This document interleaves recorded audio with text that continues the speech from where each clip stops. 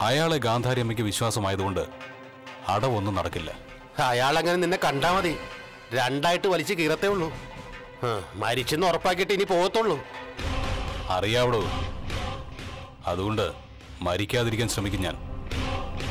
അവസരം കിട്ടിയാൽ എന്നെ തേടി നടക്കുന്നവനെ ഒക്കെ കൊല്ലാനും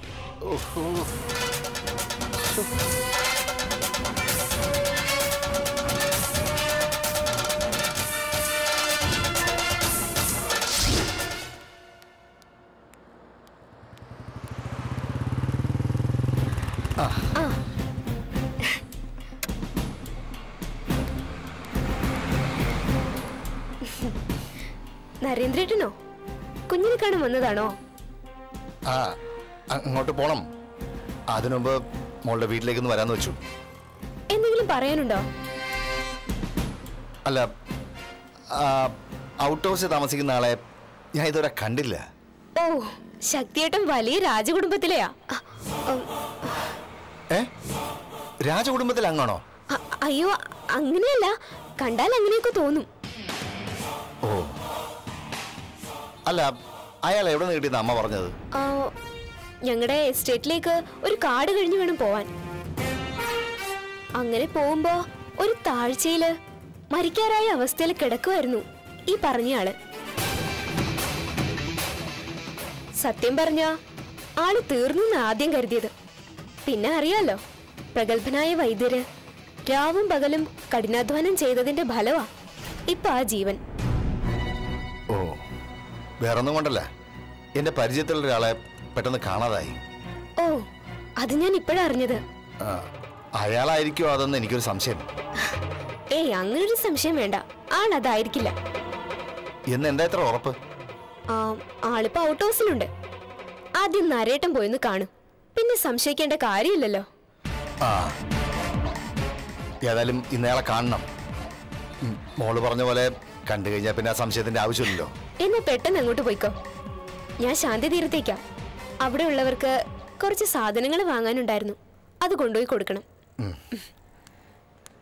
കാവേരി. അല്ല ഈ ദിനകരൻ എന്നുള്ള പേരിൽ ഒരു നാടകക്കാരൻ വരുമല്ലോ ചെയ്തോ? ഇല്ല. എന്താ ചോദിച്ചത്? ഒന്നുമില്ല. അച്ഛൻ വരുമെന്ന് ചിന്നുമോളോട് പറയണോ? ആ പറഞ്ഞേക്ക്. ശരി.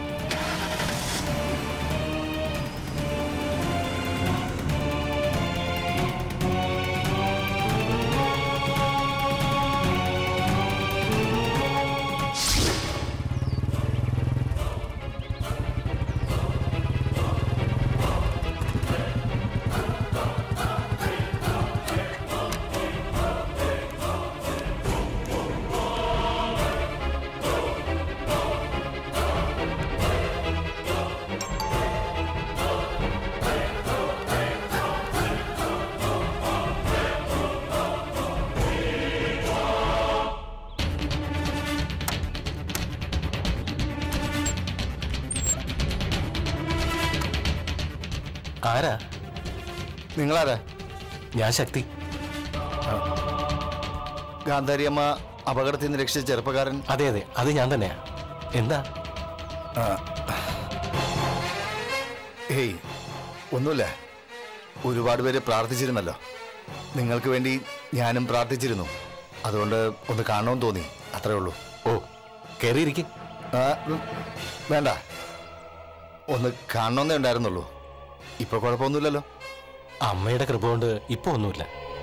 ശരി കാണാം. ശരി.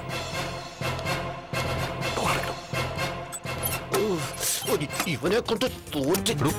എന്തിനാ കയറി ഇരിക്കണമെന്ന് പറഞ്ഞേ? ഇരുന്ന തെണ്ടിപ്പോവനെ സംശയം തോന്നി അത് മതി. എല്ലാം അവിടെ കൊണ്ട് തീരും. അവനിവിടേക്ക് വരുന്നുണ്ടെന്ന് കാവരി വിളിച്ചു പറഞ്ഞുകൊണ്ട് രക്ഷപ്പെട്ടു. അല്ലെങ്കിൽ ഇപ്പൊ അവന്റെ മുന്നിൽ ചെന്ന് ചാടി കൊടുത്തനെ. ദേ എനിക്ക് കാര്യമൊന്നും പിടികിട്ടിയില്ല. കാര്യം എന്തിനു പിടികിട്ടണേ? കാശ് കിട്ടിയാ പോരെ? എടാ നീ പത്ത് നാടകം കളിക്കുന്ന കാശ് നീ സാർ ഒറ്റടിക്ക് തരും. മോനെ മണർക്കാട് ദിനേശ ഇവിടത്തുകാരനായ നീ ഇങ്ങനെ ഒരു സംഭവം നടന്നത് ആരോടും പറയരുത്. ആ ചോദിച്ചാലും കൂടുതൽ തരുമല്ലോ. കാര്യം എന്നാ ചേട്ടനെ പോലെ നന്ദികേട് കാണിക്കത്തില്ല. പോടാ പോടാ പോടാ. എനിക്ക് ഇനി ഒന്ന് കാവേരി കാണണം. എന്നിട്ട് ചിലതൊക്കെ ഒന്ന് പറഞ്ഞ് മനസ്സിലാക്കി കൊടുക്കണം. എടാ നീ എങ്ങടെ പോടാ? അതിലേ പോകാൻ. ഓ. അല്ല എന്താ ഇതിന്റെയൊക്കെ അർത്ഥം? എടാ അതെ നമ്മുടെ നാടകത്തിലെ ഉള്ളൂ കഥാദാരിദ്ര്യം. ജീവിതത്തിൽ അത് ഒരുപാടാ. ദേ ഇപ്പൊ ആ പോയവനുണ്ടല്ലോ. അവന്റെ കൂടെ നടന്നാ മതി. പത്തല്ല നൂറ് കഥകൾ ഉണ്ടാക്കാം കഥകൾ ഉണ്ടാക്കുന്നൊക്കെ അവിടെ നിൽക്കട്ടെ. ആ. ഗാന്ധാരിയമ്മ നിസാരക്കാരിയല്ല. ഓ, ഓ. തരികിട കാട്ടിയാലേ കത്തിച്ചു കളയും.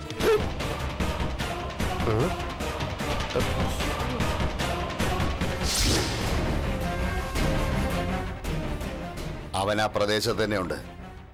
അവനെ പോലെ ഒരുത്തനെ ഞാൻ കണ്ടത്. എന്നാ അവനാണോന്ന് ഉറപ്പിക്കാറായിട്ടില്ല. എങ്കിലും പലരും കണ്ടെന്ന് പറയുമ്പോൾ വിശ്വസിക്കാതിരിക്കാനും പറ്റത്തില്ല. മാത്രമല്ല ആ നാടക നടൻ അവിടെ ഉണ്ടല്ലോ പുത്തൂർ ദിനകരൻ. അവനെ ശരിക്കൊന്ന് കൊടയേണ്ടതായിരുന്നു. ഏ നാടകക്കാരാകുമ്പോ നാടകം കളിക്കാൻ ഏത് പ്രദേശത്തും പോവും. അത് ശരിയാ. എന്നാലും ശരത്തിനെ കണ്ടെന്ന് പറയുന്ന അതേ സ്ഥലത്ത് അവനെയും കണ്ടിരിക്കുന്നത്.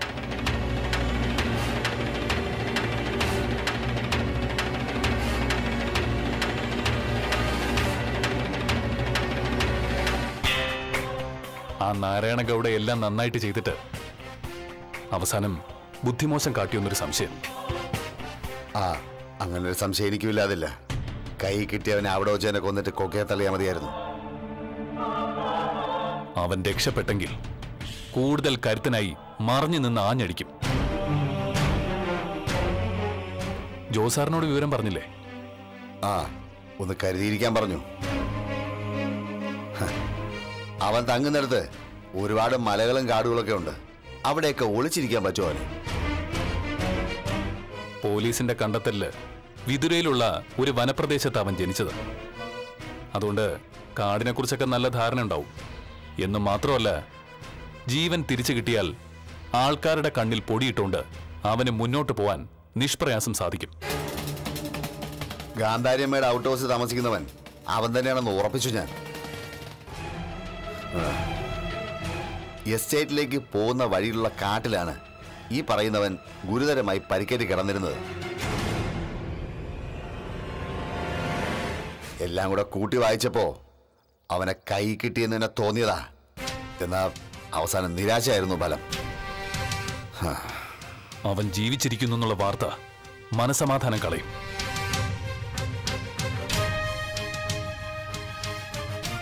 മുന്നിലേക്ക് വന്ന് ആക്രമിക്കില്ലല്ലോ. പിന്നിലൂടെയല്ലേ അവന്റെ കളി അത്രയും.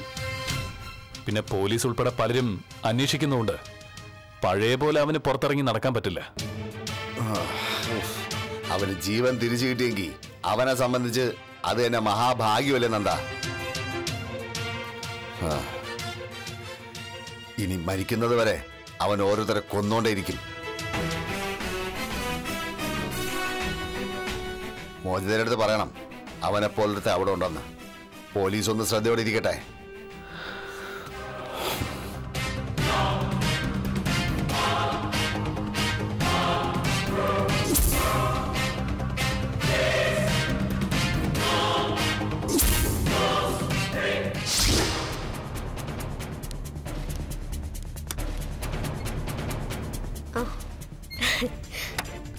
ഓഫീസ് ടൈം കഴിഞ്ഞു. എല്ലാവരും പോയി. അതുകൊണ്ട് കണക്കുകളൊക്കെ ഒന്ന് നോക്കാൻ വന്നതാ. മോളോടിപ്പോ എത്ര നന്ദി പറഞ്ഞാലും അത് അധികാവില്ല. കൃത്യസമയത്താ മോൾ വിളിച്ച് വിവരം പറഞ്ഞത്. അപ്പോഴേ ഞാൻ ഊഹിച്ചു അയാൾ ഇവിടെ വരുമെന്ന്. അങ്ങോട്ട് വരാൻ ഞാൻ തന്നെയാ പറഞ്ഞത്. എന്തൊരു ചതിയാ ചെയ്തത്.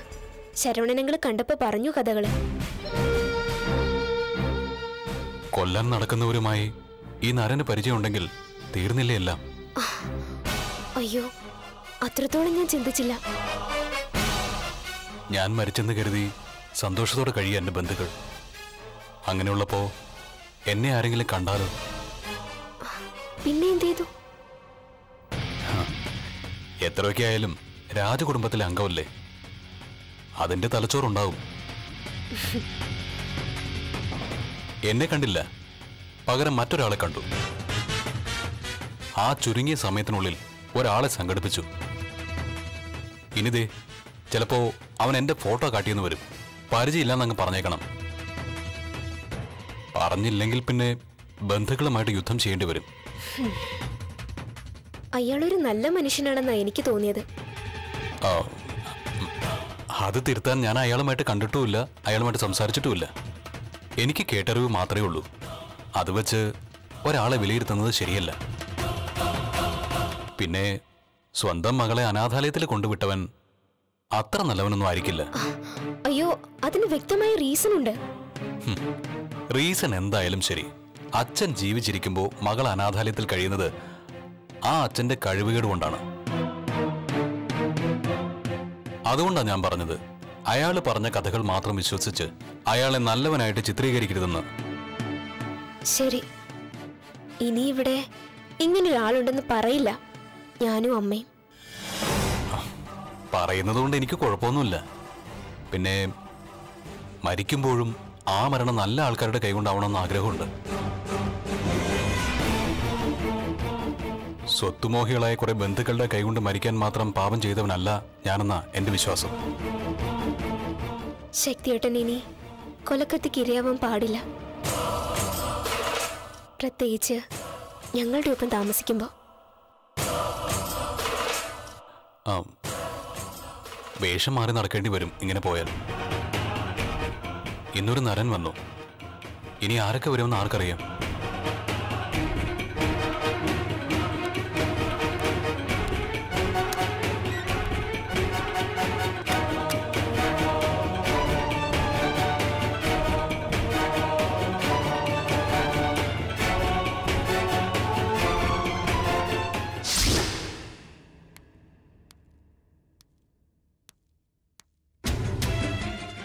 എന്തു വേണം?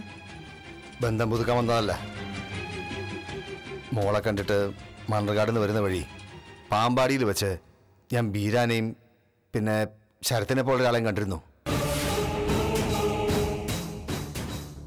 എന്റെ അടുത്ത് സംസാരിക്കാനായിട്ട് ഒരു വിഷയം ഉണ്ടാക്കുവാണോ താൻ? ഏയ് അല്ല സാർ. കണ്ട കാര്യമാണ് ഞാൻ പറഞ്ഞത്. എനിക്ക് മുമ്പ് വിശ്വാസ് സാറിന് ചികിത്സിച്ചിരുന്ന ഡോക്ടറും അവനെ കണ്ടിരുന്നു. ഈ ബീരാൻ നാടകക്കാരനല്ലേ? പുത്തൂർ ദിനകരൻ. അയാൾ എവിടെയും വരാം.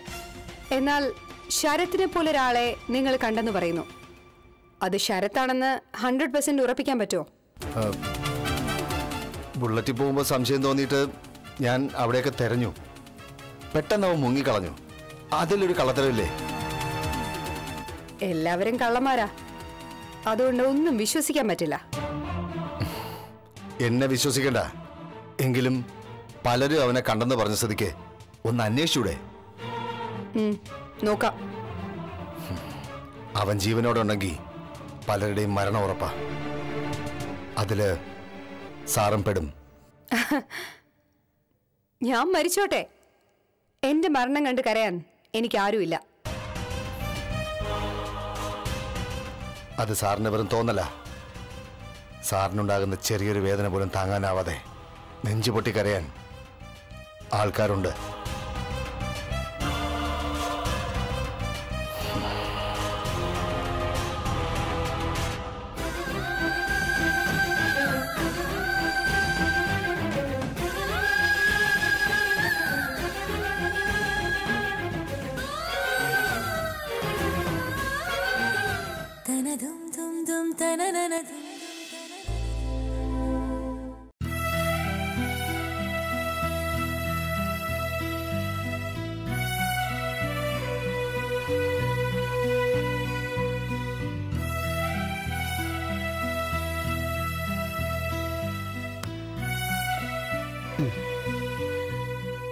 എന്നതാ മോളെ ആലോചിക്കുന്നത്?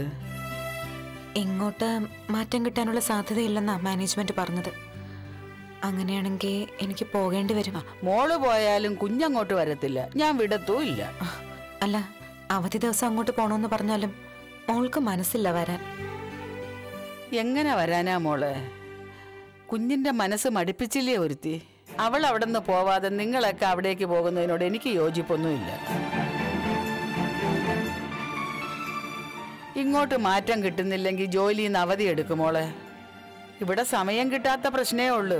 അത്രയ്ക്ക് പണിയല്ലേ? എന്നാലും ഒരുപാട് ശ്രമിച്ചിട്ട് കിട്ടിയ ജോലി അത്. കളയാനും മനസ്സ് വരുന്നില്ല. എന്നാ പിന്നെ മോൾ മോളുടെ ഇഷ്ടം പോലെ ചെയ്തോ?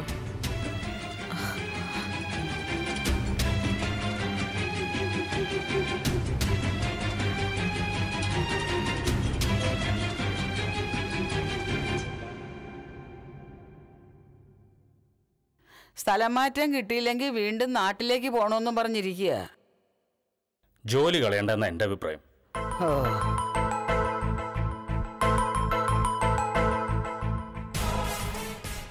അതൊന്നും അല്ല അമ്മച്ചി ഇവിടുത്തെ പ്രശ്നം.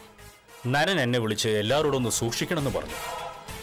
മണർക്കാട് അയാൾ അയാളുടെ കുഞ്ഞിനെ കാണാൻ പോയപ്പോ അവനെ കണ്ടെന്ന്. ശരത്തിന്.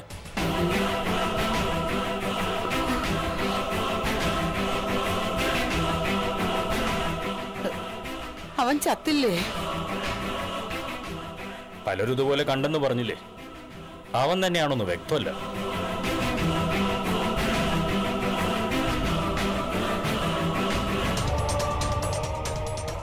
അതിന് തൊട്ടു മുമ്പ് നരം വീരാനെയും കണ്ടിരുന്നു. രണ്ടും കൂടി കൂട്ടി വായിക്കുമ്പോൾ അവൻ ജീവനോടെ ഉണ്ടെന്ന് വേണ്ട കരുത്.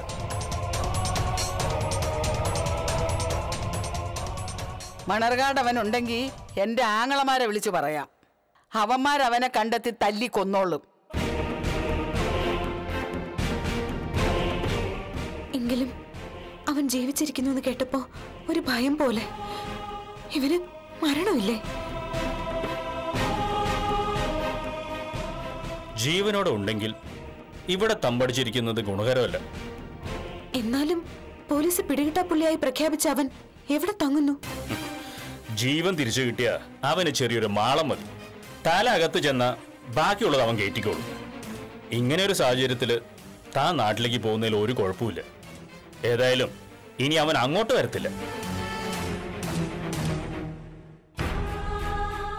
നരൻ അങ്ങനെ പറഞ്ഞെങ്കിൽ എല്ലാരും സൂക്ഷിച്ചേ പറ്റൂ. അവനിനി നഷ്ടപ്പെടാൻ എന്താ ഉള്ളത്? കയ്യിലൊരു തോക്കുണ്ടെങ്കിൽ എല്ലാരെയും കൊന്നൂടായോ? മറഞ്ഞിരുന്ന് വെടിവെച്ചൂടായോ?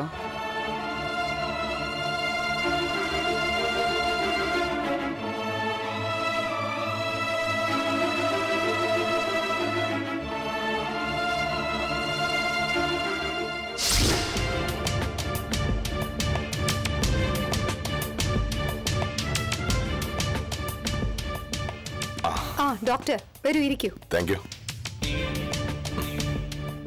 ഞാൻ ഡോക്ടറിനെ വിളിപ്പിച്ചത് വേറൊന്നിനു വേണ്ടിയല്ല. നരൻ എന്നോട് വന്ന് പറഞ്ഞു അയാൾ ശരത്തിനെ കണ്ടുവെന്ന്. അതിനു മുൻപ് ഡോക്ടർ കണ്ടുവെന്ന് പറഞ്ഞു. ശരിയാണ്. ഞാൻ അവനെ നോക്കിയപ്പോ പെട്ടെന്ന് അവൻ പൊക്കിളഞ്ഞു.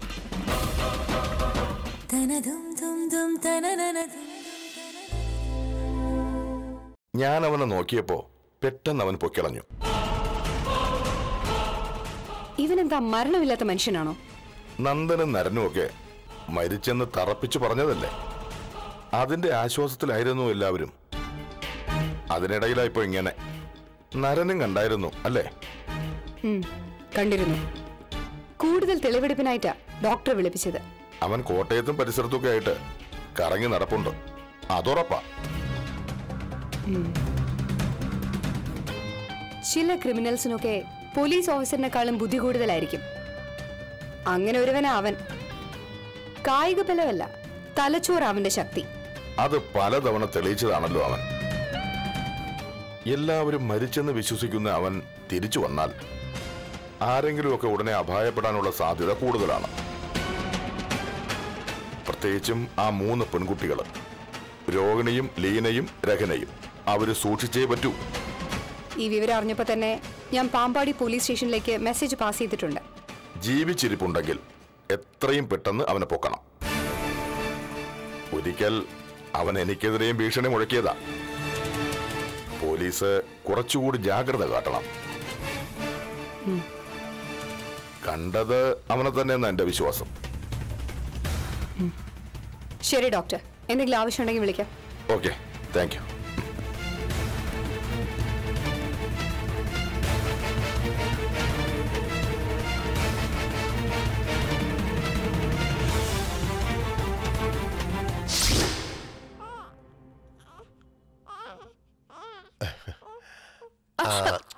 തൊട്ടു പോരുത് രാവിലെ കുളിച്ചായിരുന്നോ?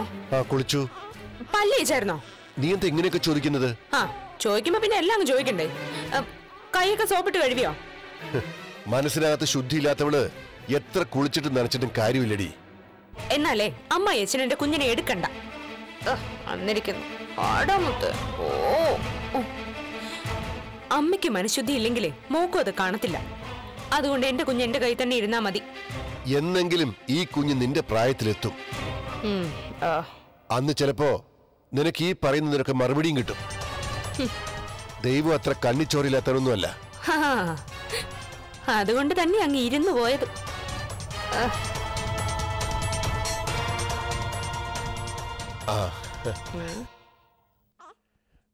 സാറിനെ ഇങ്ങോട്ടൊന്നും കാണാറില്ലല്ലോ. എപ്പോഴും കരുതും ഇങ്ങോട്ട് വരണമെന്ന്. പിന്നെ ലീന ടീച്ചർ ഇവിടുത്തെ വിശേഷങ്ങളൊക്കെ പറയാറുണ്ട്. ഓ. നന്ദന്റെ കുഞ്ഞാണല്ലേ? ആ അതെ. കുഞ്ഞ് ജനിച്ച പിന്നെ സ്വഭാവമൊക്കെ മാറിയോ? ഇപ്പോ അടങ്ങി ഒതുങ്ങിയാണോ നിൽക്കുന്നത്? അല്ല സാറേ ഇപ്പൊ തലയും കുത്തിയാ നിക്കുന്നേ ചില സമയത്തെ അന്തരീക്ഷത്തിൽ നിൽക്കാറുണ്ട്. അതൊക്കെ ബോറായി വരുന്നോണ്ട് അടുത്ത നിപ്പിനെ പറ്റി ആലോചിച്ചോണ്ടിരിക്കുക അല്ല സാറിന് എന്തെങ്കിലും സജഷൻസ്? വീട്ടിൽ വരുന്നവരുണ്ടെങ്കിൽ ഇത്തിരി മാന്യത കാണിക്കടി. അയ്യോ അത് അതൊക്കെ മാന്യന്മാരോട് പോരെ അച്ഛാ?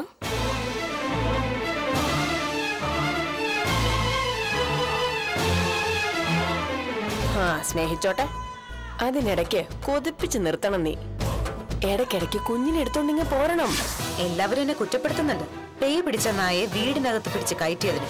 കൂടുതൽ സാമർഥ്യം കാണിച്ചാലേ ഞാൻ എന്റെ പാട്ടിനങ്ങ് പോവും. പൊയ്ക്കോ.